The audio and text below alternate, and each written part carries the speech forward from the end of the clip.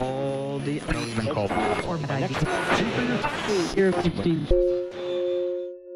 You taught for how long? Uh, Taught for 33 years. So many teachers do all the work for the kids, and then they don't benefit. They're passive receptors for answers. And I didn't ever think I had the answer.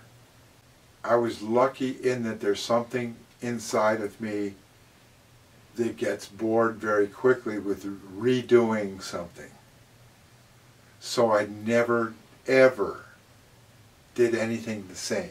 Now, this is this is this brought me into conflict with the system. They always used to say, if something happens to you, we have to have your curriculum so that we can duplicate you. And I go, well, you can't duplicate me because I never do anything ever the same. Uh, even projects that would have continuation over year to year, I'd always tweak it and make it better. I was always asking, how can this be better? Somebody handed me this thing, how do you get your blues name? Okay? It was uh, an infirmity plus a fruit plus the name of a president, the last name of a president. So I said, hey kids, here's this, here's this really cool thing about getting have a blues name. And everybody in this, everybody should have a blues name. Everybody should have a blues name.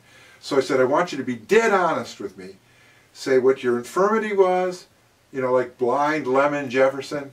Say, tell me what your infirmity is. Tell me what your fruit is, and then, so we all made up blues names. Okay, so that was the lead in.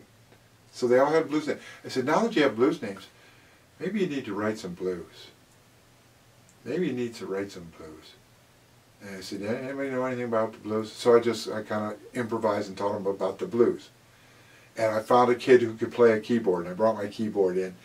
Found a kid who could do some blues changes. So they could recite their blues, or they could sing their blues kids started really getting up and performing. I said, lock the door. so I didn't want anybody coming in because they were being dead honest. A couple of the guys who came out of rep started improvising blues on the spot. And I, the way I had my classroom was I had, had it set up in a seminar thing in a big square. They jumped over the square in the center and a couple of girls jumped over and they were like doing the backup like that. And these guys were improvising the blues.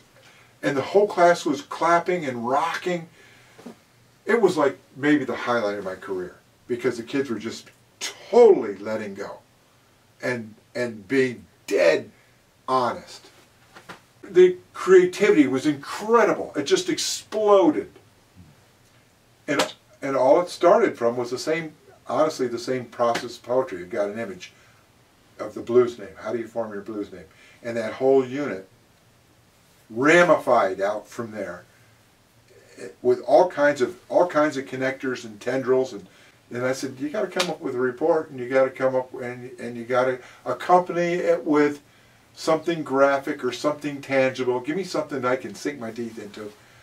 And uh, here's the time to do it. And they worked like dogs. They were on their laptops working and and so then they all did reports, and it was it was incredible. Hmm.